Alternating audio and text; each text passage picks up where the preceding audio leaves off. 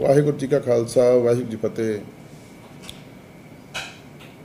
ਸਾਕਾ ਪੰਜਾ ਸਾਹਿਬ ਦੀ 100 ਸਾਲਾ ਸ਼ਤਾਬਦੀ ਨੂੰ ਸਮਰਪਿਤ ਪ੍ਰੋਗਰਾਮ ਪੰਜਾਬ 'ਚ ਅਤੇ ਗੁਰਦੁਆਰਾ ਪੰਜਾ ਸਾਹਿਬ ਪਾਕਿਸਤਾਨ ਵਿੱਚ ਕੀਤੇ ਜਾ ਰਹੇ ਨੇ। ਇਹ ਸ਼ਤਾਬਦੀ ਵੱਡੇ ਪੱਧਰ ਤੇ ਮਨਾਈ ਜਾ ਰਹੀ ਹੈ। ਇਸ ਸੰਬੰਧ ਵਿੱਚ ਇੱਕ ਵਿਸ਼ੇਸ਼ ਜਥਾ ਜਿਹੜਾ ਪਾਕਿਸਤਾਨ ਦੇ ਗੁਰਧਾਮਾਂ ਲਈ 30 ਅਕਤੂਬਰ ਨੂੰ ਸ਼ਤਾਬਦੀ ਮਨਾਉਣ ਜਾ ਰਿਹਾ, ਇਸ ਸ਼ਤਾਬਦੀ ਨੂੰ ਮਨਾਉਣ ਲਈ ਜਾਣ ਵਾਲੇ ਜਥੇ ਵਿੱਚ ਨੂੰ 5 ਅਗਸਤ ਤੱਕ ਪਾਸਪੋਰਟ ਮੰਗੇ ਗਏ ਨੇ।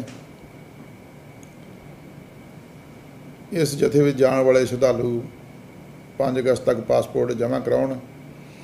ਇਹ ਜਥਾ 29 27 ਅਕਤੂਬਰ ਨੂੰ ਅੰਮ੍ਰਿਤਸਰ ਤੋਂ ਰਵਾਨਾ ਹੋਏਗਾ ਤੇ 30 ਅਕਤੂਬਰ ਨੂੰ ਸ਼ਤਾਬਦੀ ਮਨਾ ਕੇ 2 ਨਵੰਬਰ ਨੂੰ ਵਾਪਸ ਸ਼੍ਰੀ ਅੰਮ੍ਰਿਤਸਰ ਪਹੁੰਚੇਗਾ।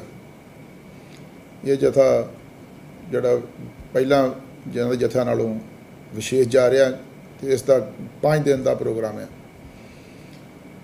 ਇਸ ਜਥੇ ਵਿੱਚ ਜਾਣ ਵਾਲੇ ਸ਼ਰਧਾਲੂ ਆਪੋ ਆਪਣੇ ਪਾਸਪੋਰਟ 5 ਅਗਸਤ ਤੱਕ ਸ਼੍ਰੋਮਣੀ ਕਮੇਟੀ ਜਮ੍ਹਾਂ ਕਰਵਾ ਦੇਣ, ਤਾਂ ਜੋ ਵੀਜ਼ਾ ਅਪਲਾਈ ਕਰਕੇ ਵੀਜ਼ੇ ਲਈ ਲੈ ਜਾ ਸਕਣ, ਤਾਂ ਸੰਗਤਾਂ ਗੁਰਦੁਆਰਾ ਪੰਜਾ ਸਾਹਿਬ ਵਿਖੇ ਸ਼ਹੀਦਾਂ ਦੀ ਯਾਦ ਮਨਾਉਣ ਲਈ ਜਾ ਸਕਣ।